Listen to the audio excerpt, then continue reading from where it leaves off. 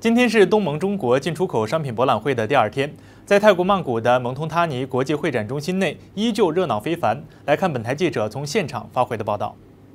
二零一四东盟中国进出口商品博览会六号隆重举行，来自中国大连、四川、贵州、广东等十六个省市的三百多家企业，向泰国业界展示优质精良的中国制造。博览会展出面积超过一万平方米，展品涵盖了建筑材料、机械电子、农业食品。医药化工、轻工产品等五大专区，集中展现了中国各行业的新成果、新技术、新产品。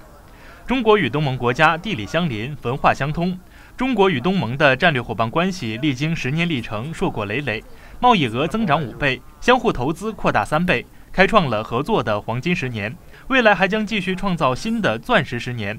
东盟已成为中国第二大贸易伙伴。中国对外直接投资的第四大经济体和第三大外资来源地，中国政府已经把2014年确定为中国东盟友好交流年。东盟卫视 MGTV 记者赵俊奇、高东东泰国曼谷报道。